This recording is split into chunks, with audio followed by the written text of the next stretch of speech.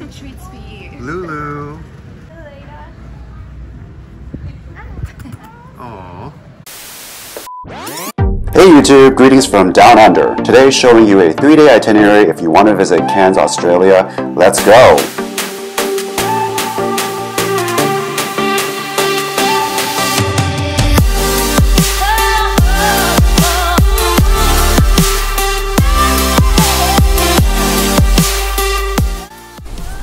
Check out the room. Oh, wow. Alright, so first is the bathroom. And where's the light?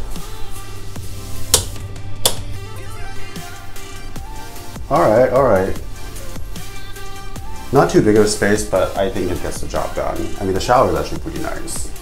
And then let's go ahead and take a look at the room itself large flat screen TV, some artwork. It seems very Great Barrier Reef vibes. Oh yes, nice bed. And they were so nice, they know that I'm a gold member and so they upgraded me to this view with a balcony. Whoosh. Look at that. This place totally gives Hawaii vibes, plus Great Barrier Reef, plus a Ferris wheel. Also, here's their fridge. Fridge shouldn't have anything right, but all the coffee is here and all the stuff that goes with the coffee. So, very nice. After a warm shower, let's go check out the premises.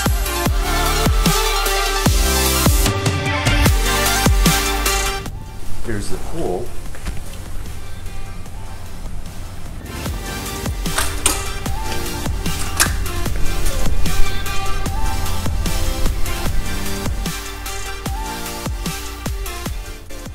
Patiently waiting for happy hour to start.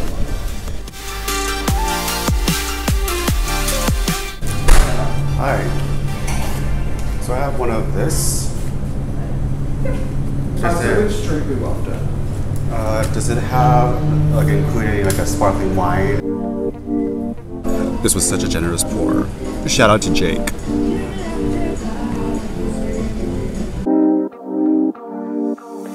After enjoying my drink outside, let's check out the promenade area. It's. There's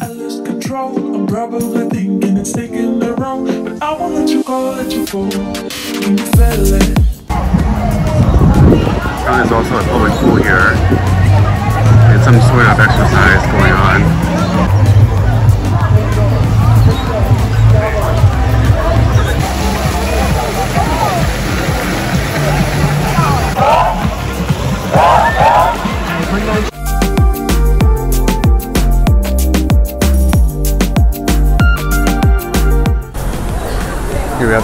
Markets. Definitely very reminiscent of Southeast Asia.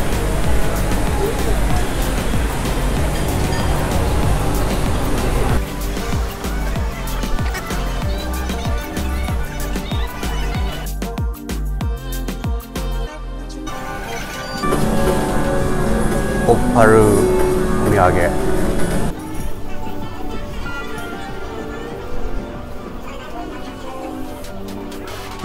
I remember doing this at one point, I think in Cambodia. We also have here a food court of sorts. Lots of fried foods here. Some of the places are actually closed or they're not operating. Oh good, we got some more healthy gourmet, except it's mainly fried. oh my god, look at these. You know, 11 US dollars for ramen is actually not bad at all. Now, whether it tastes good, that's a different story. Alright, Australian McDonald's. Let's see that. Oh, Bacon Angus. Too bad it's sold out. Everything looks pretty much the same. How do I go back? Oh, chicken and fish. Looks spicy. Alright, this is all pretty much standard. Let's see if the desserts are different. Oh, this is different. Uh, I don't. Maltesers McFlurry. That's different. cookies, huh? Standard breakfast. Same. I mean, it's fancy they have sparkling water. And they have frozen Fanta too. Okay, alright, alright. Salted caramel frap. Oh.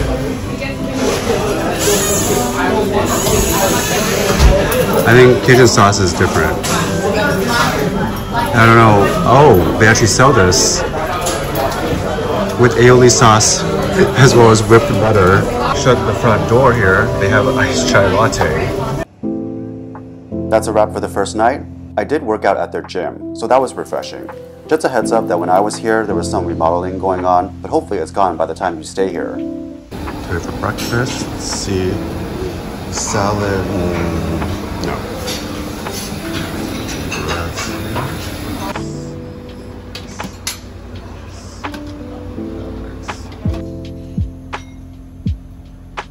What a lovely morning to go snorkeling in the Great Barrier Reef. Doesn't this have Waikiki vibes? Or at least Hawaii? Totally does.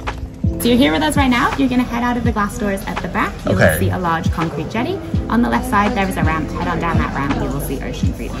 Is that, uh, which finger is it? Um, a finger. So when you go out, you'll see you'll see the big um, green sign with the letter A on it. The Got ramp's it. like right next to that. Perfect. Um, boarding on the boat starts at 7:30, so you've got about 15, 20 minutes. Sounds if you want good. a coffee while you wait, the Blue Island is a good one, but there will be tea, coffee, fruit, and pastries when you get on board the boat.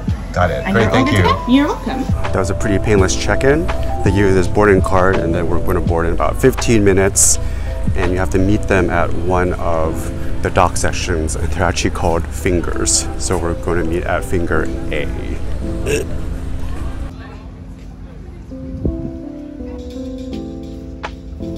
Thanks. Hello, morning. Hi, how are you, mate? Good, how are you? Welcome aboard. Yeah, good, thanks. Enjoy. Thanks. And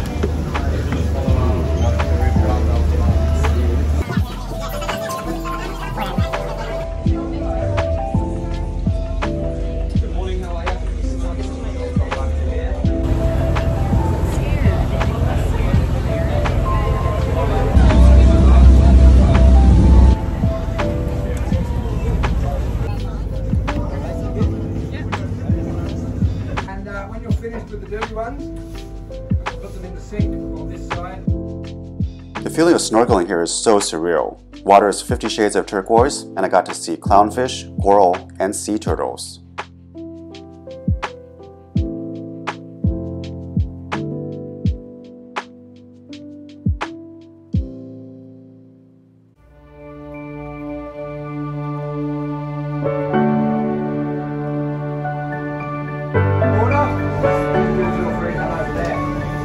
If you want to see coral though, anywhere you see a darker around here, uh, because there was no sand islands, it's had. session, just a last little look, have a look at some of these fish. Um, we feed these fish.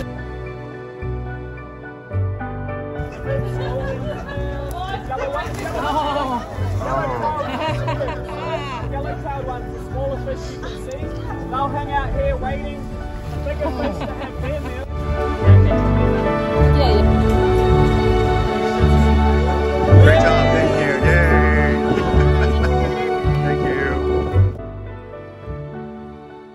After the snorkeling, I got some Balinese food and then went to a few bars for drinks. Here's one of them, and then we'll call it a night. Here at Rusty's Market, so this is a farmer's market that has for sale lots of exotic fruits, produce, also seems here that there's food stalls as well. Uh, but anyway, here's the more produce section. So of course they have typical fruits, but also a little bit more exotic ones like dragon fruit, mango. That is called red pow pow. This one, oh, Granny Smith. Okay, not that exotic, I guess. But they have these smaller green bananas. Oh, these avocados are very green. I just like being here because there's fans here, so it's nice and cool.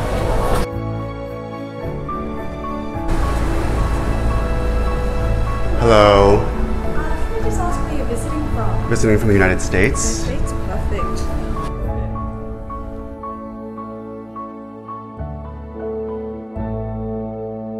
I am so excited because here you can go and hug a koala, or more like let a koala latch onto you. So this is the Cairns Zoo and Wildlife Dome. It is a place where you can, again, let a koala latch onto you, play with reptiles, do other sort of like climbing and other kind of physical activity related things. It's right here in Cairns. And just so you know, you can't let a koala latch onto you Australia. So apparently I heard from my Aussie buddy that in New South Wales that they don't allow you to do that. You can take a photo with the koala, but you can't touch them or let them hug you. And so if you're gonna do that, you can do that in Cairns, which is what I'm gonna do, or you can do in Adelaide, which I've heard that's a possibility too. So I am super excited to do this. Very stoked. Let's go.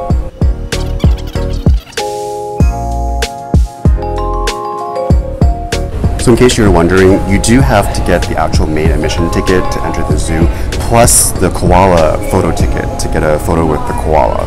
And so for the times, these are the ones, just be there five minutes before the designated time, and the person that was working there says that you should be there for an earlier time if possible. And apparently they take it on their camera right over there and they will give you a printed copy. The printed copy has some sort of code on it that you can go online to download an electronic copy. Lots of treats for you. Lulu! There she goes. So my experience was just like everyone else's, including these Japanese tourists. The handler will give some instructions, and then Lulu the koala will latch onto your shoulder while you make a cupped motion with your hands. Then look at the camera and smile. And basically, my thought right after the experience was, My life is complete.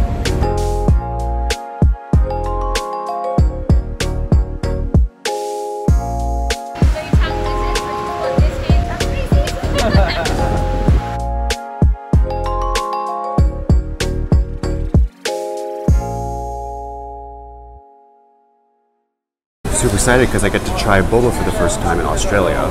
So this is Sweet Tea. It's inside this shopping plaza in Cairns and it's about like a 10 minute walk from where my hotel is. So I got the pearl milk tea because it's one of the top 10 drinks. Figured this was a good standard drink to try out to see if this place is good. It looks like it is based on reviews online. So let's go ahead and try it out. Ah,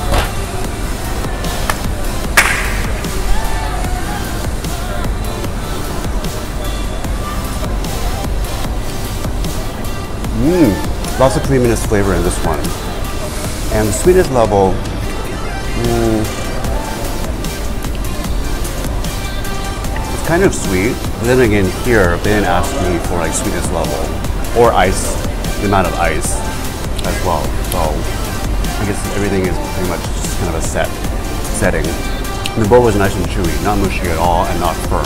All right, all right, I like this. Kind of makes sense too that boba here would be good because there's quite a bit of Asian influence. Good job, sweet tea. And that is all. Thanks for watching. This is Sho, and I'm signing off.